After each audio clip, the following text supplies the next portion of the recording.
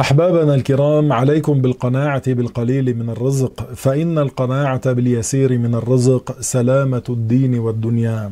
وعليكم بإكثار ذكر الموت فإنه يساعد على القناعة باليسير من الرزق والاستعداد للآخرة وإيثار الآخرة على الدنيا. ولنقتدي بالصحابة رضوان الله عليهم فإنهم لو كانوا على مثل حالنا اليوم من تتبع الراحات وتكثير الأموال ما انتشر الإسلام إلى الشرق والغرب. ولكان الإسلام مقتصرا على الحجاز والجزيرة العربية. ترك التنعم خير عند الله لأن التنعم إذا التزمه الشخص لا يواسي غيره من المحتاجين لأنه يسعى للمحافظة على ما هو عليه من التنعم.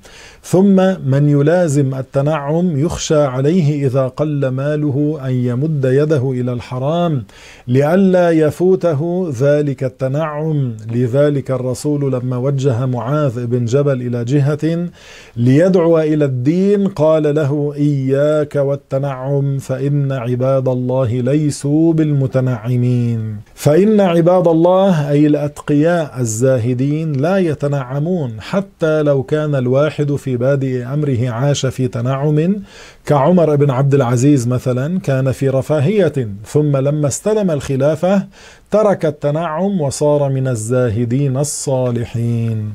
نسأل الله تعالى أن يجعلنا من عباده الصالحين الذاكرين الشاكرين الزاهدين ومن الذين لا خوف عليهم ولا هم يحزنون.